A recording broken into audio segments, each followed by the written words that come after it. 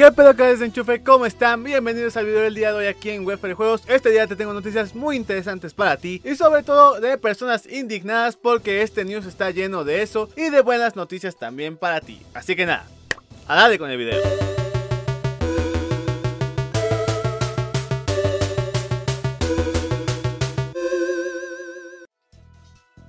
La primera queja del día de hoy que tenemos es a Call of Duty, en específico a Infinity Ward, porque los fans dicen que ya se la volaron. Y es que es la verdad, ya se la volaron con el espacio que tiene Warzone y Call of Duty Modern Warfare como tal en juego completo. En serio es demasiado grande, o sea, ahorita ya ronda en los 250 GB y no es algo que puedas poner en un disco externo, ¿sabes? Porque va a ir mucho más lento, el rendimiento va a crashear, va a tener bugs o bugs no me caga esa palabra, nunca sé cómo decirla. Tú cómo la dices. Pero va a tener muchísimos errores. Lo mejor es instalarlo en tu disco de estado sólido. Pero pues ese disco es muy pequeño casi siempre. O es pequeño el que ya trae de por sí. En su caso tu laptop o en su caso tu PC. Pues no le compras uno tan grande porque son caros. Entonces la gente ya está muy indignada y está diciendo que por qué lo hacen tan pesado. Que por favor lo hagan menos pesado. O que pongan una variante para los que no quieran ciertas cosas. Que no les importe. Que puedas decidir qué instalas y qué no instalas. Etcétera. O sea que que sea algo más compacto. Y yo aquí te digo, ¿que no te gusta jugarlo?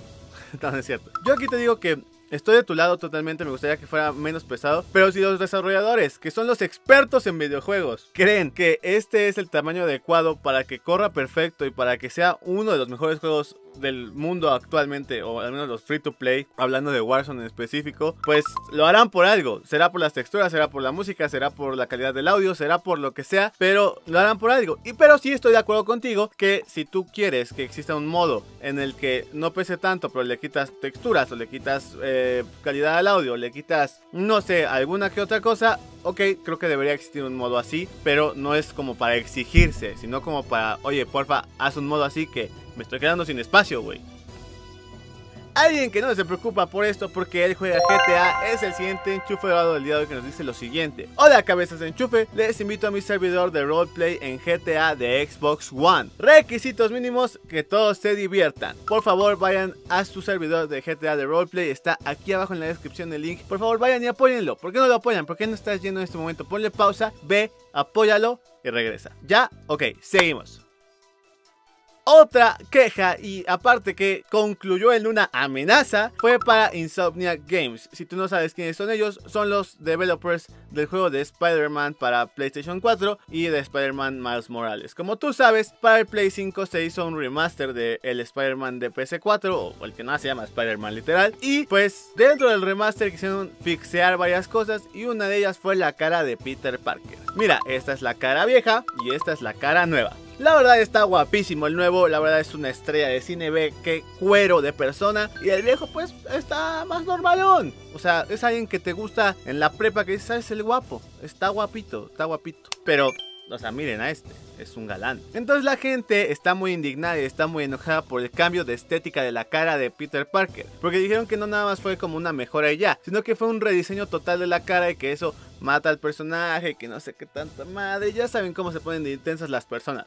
me da mucha risa porque, pues en este caso que a mí no me importa tanto el cambio de Spider-Man, pues me vale madre y X, ¿no? O sea, lo veo como, oye, pinches exagerados. Pero si cambiaran el diseño, no sé, de Pikachu o algo así, diría, no, pinches locos, estúpidos, ¿qué les pasa? O sea, está muy chistoso como, dependiendo de qué tanto te importa una cosa o te importa otra cosa, neta te prendes o lo ves desde un punto objetivo y racional. Pero, o sea, sí entiendo su molestia, sí entiendo que estén enojados, pero también entiendo los developers que tienen que cambiarle cosas para que digan, ah, el nuevo juego, ah, que le cambiaron la cara y que se haga noticia, ¿sabes? Entonces, yo creo que esto se puede solucionar simplemente con un, un modo, no sé, que sea como los juegos que hacen como remakes que te dejan verlo en modo retro o en modo actual. Entonces que sea así como cara fea, cara guapa y ya, Sans acabó. Y lo que sí no me parece son las amenazas, porque hay fans que ya le han mandado eh, al director de Insomniac este, mails y mensajes así de te vamos a encontrar y te vamos a matar. Si no lo arreglas, hazlo ya, no sé qué. Eso sí ya es una guarrada, eso sí ya es pasarse, eso ya es cruzar una línea más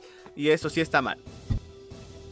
Steve de Minecraft ya va a venir para el Smash. Y te voy a contar pues un pequeño resumen rapidísimo de qué trae y aparte pues cuando sale, que es lo importante y que es por lo que estás viendo esto. Mira, cuando sale sale el 13 de octubre, así de entrada te lo digo, ahí te va, el 13 de octubre llega Steve, llega con Alex y llega con todas las variantes que tiene. Él va a tener diferentes modos de juego por así decirlo, porque dependiendo del stage en donde estés, él va a farmear pues el material del que esté hecho ese escenario y va a craftear sus armas. Él puede subirlas de nivel y pues obviamente va a ser más poderoso con eso. Eh, su salto base es mucho más chico que el de todos los demás, pero pues tiene otros métodos para subir este, más rápido. En general es un personaje bastante interesante, es un personaje que creo que le hicieron bastante justicia al juego de donde viene, lo pensaron muy bien las mecánicas. Se ve interesante, no te puedo decir que se ve roto o algo así porque pues no lo he jugado, pero hasta que lo juegue te voy a decir si está roto, si está normal o qué pasa. Pero la verdad es que se ve interesante y pues creo que es un gran guiño y creo que representa muchísimas cosas que él esté aquí. Representa que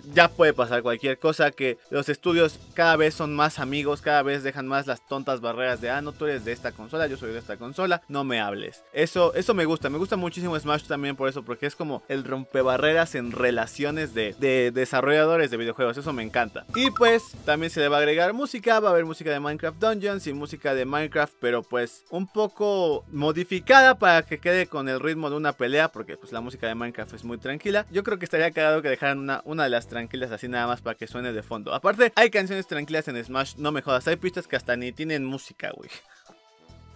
Esta, esta, noticia es rápida, o sea, porque no, no, tiene que ver mucho con videojuegos, pero se me hizo muy interesante y creo que es algo que todos estamos viviendo ahorita y estamos pasando por ello. Y es que Nvidia sacó ahorita, um, bueno, no sacó, pero anunció un software que van a desarrollar que lo que hace es arreglar las videollamadas. Y neta las arregla hermoso. O sea, para empezar le sube la calidad, que eso ya es una ultra ganancia. Eh, y les da muchas más opciones como Free View, que es literal que donde te está viendo la persona, ella puede cambiar el ángulo. Follow, que hace cuenta que si yo estoy acá y me empiezo a mover para acá, en lugar de que el cuadro se quede aquí, si es que la cámara web tiene un rango amplio, solito te va a hacer como autofocus a la cara y se va a ir desplazando a donde estás para que vean lo que estás haciendo. Eso está increíble. reducción de ruido, eso es otra cosa ultra necesaria en la vida. Reducción de ruido en, en general, o sea, en el ejemplo que ponen ellos es una señora que está hablando. Atrás están sus hijos jugando y se escucha un desmadre. Pero después ponen el software y el sonido de atrás se, se, hace así totalmente silencioso y nada se escucha la voz de la persona. Mejora la calidad de audio entre otras cosas y pues esta no se sabe cuándo va a salir y lo que se dijo es que se va a adaptar a todos los softwares de videollamadas, bueno, los que se les permita y tengan alianza con esto. Pero está padrísimo, la neta, a mí me mamó. ¿Tú qué piensas? Esta es una noticia rápida y creo que es pues rara, pues te voy a explicar por qué. Se trata de un joven de 14 años que acaba de matar a otro de 16 con un arma, una pistola en Estados Unidos y según esto fue por una disputa de videojuegos. No sé por qué videojuego, no sé de qué era la disputa, está muy reciente esto, literal pasó hace 3 días, pero pues no han dicho más información porque pues son menores y todo eso y pues, o sea, por lo que doy esta noticia no es para fomentar como, ah, muerte por videojuegos, sino como, güey, o sea, si nada más vas a poner disputa por videojuegos, ni siquiera pones por qué razón, por qué videojuego o lo detallas más. Y en realidad la noticia es que un niño mató a otro niño. O sea, no tiene sentido ponerlo de los videojuegos si ni siquiera vas a informar bien qué pedo. O sea, neta, este tipo de cosas me caga porque es cuando la gente empieza a decir, ay, sí, los videojuegos te hacen violento, no sé qué tanta madre. Pero es como, pues no, o sea, te hacen violento si ya de por sí eres violento, si ya de por sí tienes pedos detrás, si ya de por sí eres una persona inestable y te gusta matar, o sea, has pensado en neta matar a alguien y juegas un juego de matar personas, pues te, te va dando el poder de hacerlo. Pero es una pendejada, es una pendejada decir que ese juego que está diseñado nada más para entretener y ya haga pensar a las personas que está mal esto porque te hace violento y porque no sé tanta madre. Pues sí, o sea, te hace violento en una pequeña parte, pero ya queda en ti, en tu cerebro, distinguir qué es la realidad y qué es la ficción. Y es una estupidez decir que por eso este niño mató al otro. O sea, ese niño está loco seguramente, tiene algún problema, este, había más problemas detrás, seguramente se molestaban, no sé lo que sea, pero estoy seguro que no fue por el videojuego, porque si fuera por eso, así, literal, mínimo de las millones de copias que vende Call of Duty, el 50% de los que compraron ya hubieran matado a alguien. O sea, si neta te hicieran violento, ya habría pasado eso. Yo creo que aquí es un, o sea, el momento donde tienes que hacer conciencia de hasta dónde llega tu capacidad de discernir entre la realidad y la ficción y lo que está bien y lo que está mal y decidir qué compras y qué haces. Entonces, si sabes que estás medio tocado, pues no juegas o, no, o lo que sea, ¿sabes? Es como si yo tengo epilepsia y veo una película que sale en un chingo de luces y hay un pinche anuncio de advertencia, esta, esta, esta película te puede dar un ataque y los demando porque me dio un ataque, es como, güey, ya bien sabes lo que traes, te metes a ver esa cosa que de por sí no puedes y encima te avisan que no, este, que no es apta para ti y te vale madre y pues te dio un ataque, pero pues porque prácticamente porque lo pediste tú. Entonces, o sea, creo que ahí es donde está mal la cosa, creo que eso es lo o sea, no sé, me, causa mucho conflicto eso porque se me hace una idiotez culpar a los videojuegos por el ambiente violento en el que vivimos en general. O sea, es una tontería. Ya pasando cosas felices, de juegos que no son violentos, pero te enojan muchísimo cuando los pendejos que están en la meta te empiezan a agarrar y te tiran, es Fall Guys. Fall Guys es un juegazo, me gusta muchísimo, ya no lo he jugado, pero la verdad es que me, me divierte bastante. La segunda temporada ya se viene y en concreto sale el 7 de octubre. El 7 de octubre estaremos listos para Fall Guys segunda temporada y dijeron que por esto, para celebrar, tenemos Double XP. Tenemos Double XP, pero la neta te voy a ser sincero, no entendí si es de aquí a que salga la segunda temporada o cuando salga la segunda temporada en adelante, pues un tiempito. Así que mejor juega siempre, mejor juega siempre y a ver cuando te dan la Double XP. Dijeron que se vienen muchas sorpresas, que se vienen trajes nuevos de la Edad Media y pues, pues todo esto. También dijeron que tienen una sorpresita guardada para los que quieren jugar en competitivo y pues para los que tienen ese aire ya de competir literal, o sea, ya contra todos a ver quién es el mejor Fall Guy del mundo, pero pues tenemos que esperar al 7 de octubre a ver si nos dicen algo ahí o si se lo guardan un poquito más. Pero pues la verdad estoy muy emocionado porque este juego es bastante, bastante bueno.